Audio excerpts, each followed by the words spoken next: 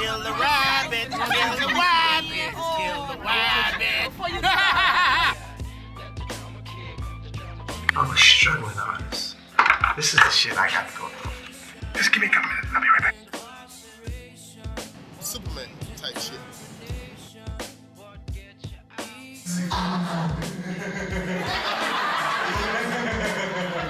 I feel like the best comics have come out of New York.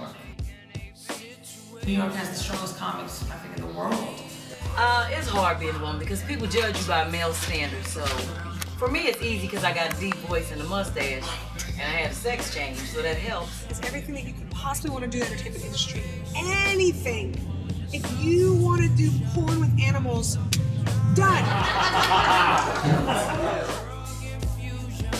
I mean, it definitely, there was a bed bug infestation coming from this fucking place.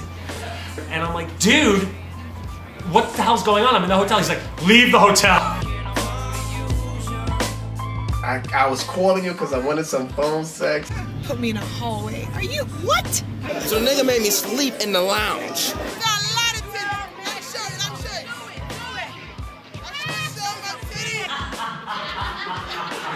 I like nasty jokes. To make people laugh, you know? Comedy is like, I can do this and make a living is amazing. It's all about sacrifice, man. I love doing comedy, I love having sex, and I love to smoke pot. And what are you gonna do about it? I'm gonna please the people I can and fuck the rest of the people.